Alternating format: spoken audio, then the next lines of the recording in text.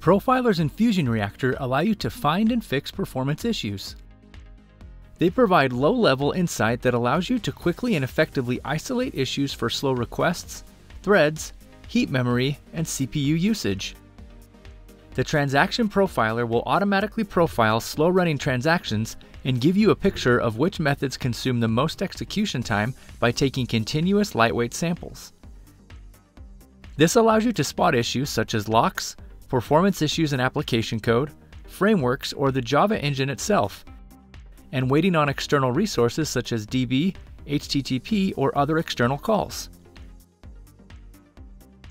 We can see here that this particular request spent all its time creating and writing to a file, which can be a very inefficient operation in Java. The Thread Profiler allows you to profile running threads on demand to build a picture of what a thread is executing and if something is blocking the thread, such as a lock or background task.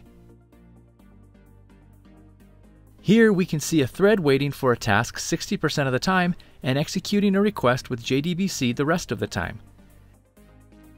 The CPU profiler tracks the CPU usage per thread, allowing you to see if any background processes or CPU intensive tasks are running on threads that can be optimized.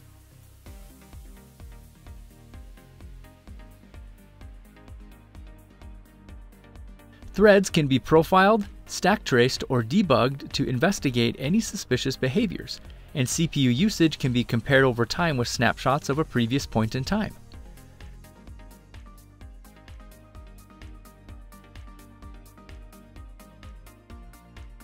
The final profiler is the memory profiler. That allows you to see which objects are consuming space in the heap to spot large objects or a potential memory leak. Individual objects can be inspected to see garbage collection roots, and snapshots can be taken to assess performance over time. Profilers in FusionReactor offer tools to improve performance throughout your application, including JVM resources, background processes, and individual requests.